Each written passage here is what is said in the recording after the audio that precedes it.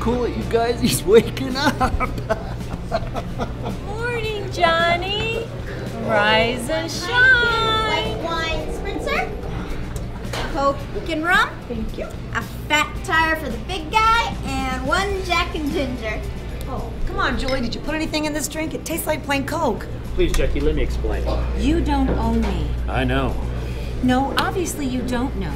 Why the hell do you do that? Because you don't listen to me. I listen to you, just don't say anything. I talk about something over here, you argue about something over there. Fine. Then tell me what it is you are saying.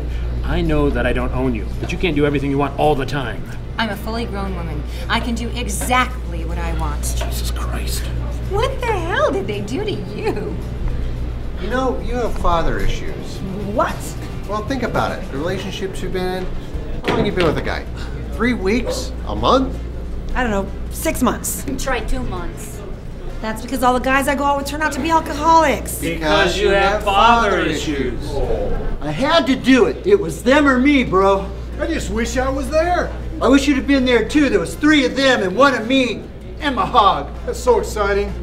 We should celebrate. Hey, how about an IKEA run? IKEA, you know I love IKEA. I know I can say it, Jackie. Listen, I trust you. wow.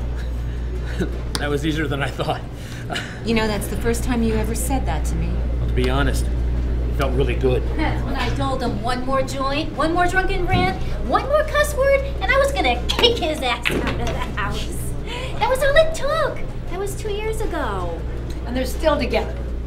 Of course. One Shirley Temple, one Grape Nehi. And one black coffee for Johnny to go. I didn't order black coffee. No, you didn't. I ordered it for you.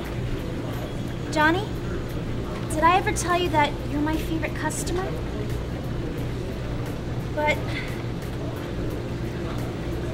I really wish that you wouldn't fall asleep at the bar anymore.